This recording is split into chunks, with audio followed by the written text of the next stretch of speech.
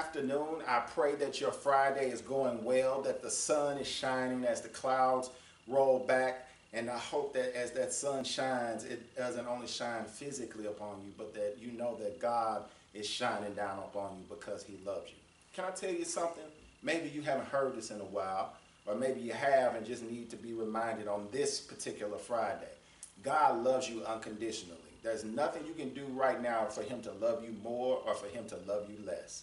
And so with that, I want to dig into something that I didn't get a chance to this past Sunday as we were in Jeremiah chapter 33. Verses 10 through 13 talk about to me three things that are very critical. At one point, Jerusalem was void of sound, meaning things had got so bad as a result of decisions they had made and as a result of the catastrophe that they caused because of their disobedience to following God, that it became without sound. It was void. Void sometimes can create despair, and despair can create destructive behaviors. And that's where Jerusalem was, and that's where the Israelites were living. But in that, God knew it. God said, You're going to have to go through what you have to go through in terms of captivity for 70 years. But He said, I'm going to give you a voice back. Can you imagine that for a moment? It's been void, it's been dry, and then God says, I'm going to give you your voice back.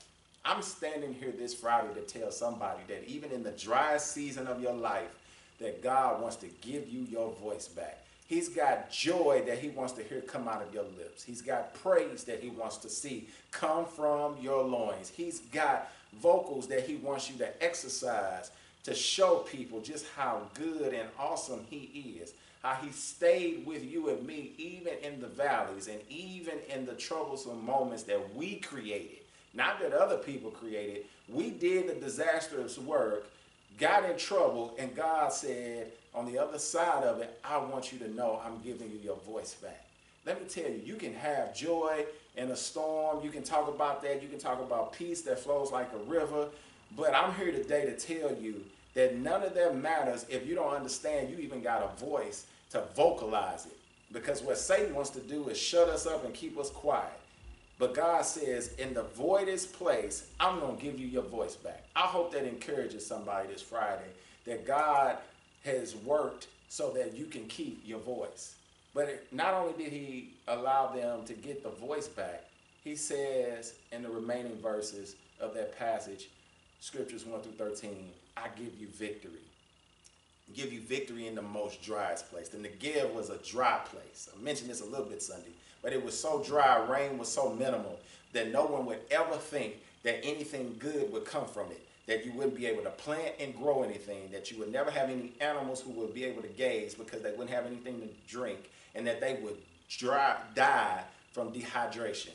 And God said, In that very place, I'm giving you victory. Listen, there's no place that you or I have been that has been so bad that God can't produce a victory.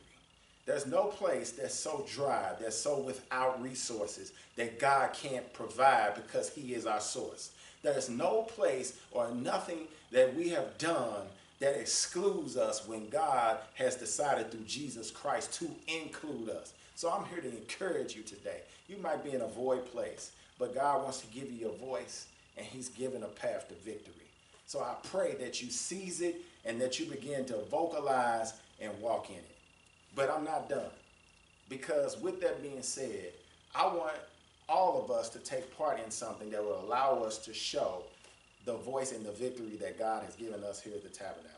Coming up in a couple of weeks, September 7th and 8th, there will be an opportunity on the 7th to serve in community cleanup, and then on the 8th to serve in our community outreach efforts to celebrate not only this community, but also celebrate our church. And so you can volunteer. We won't be in regular service that Sunday. There'll be things going on inside and outside. You'll hear more details about that this Sunday. But it's a wonderful opportunity for you to vocalize what God is doing right here and what many people would call a dry land and a dry area, that God is giving us a voice in victory.